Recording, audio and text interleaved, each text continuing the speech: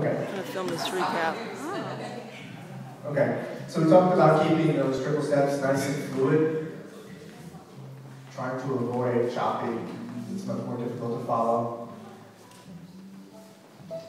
We talked about the inside turn, having that nice stretch there. We talked about the J, going out of order. And that first triple step, direction, second one, the turn, and then the last, the rock step to actually catch.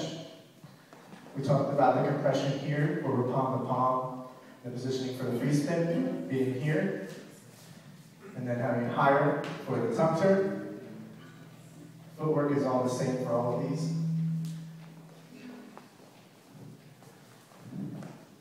And we talked about, from close position here, Texas Tommy, keeping the hand down below the waist, having a small amount of distance between you, keeping that relaxed,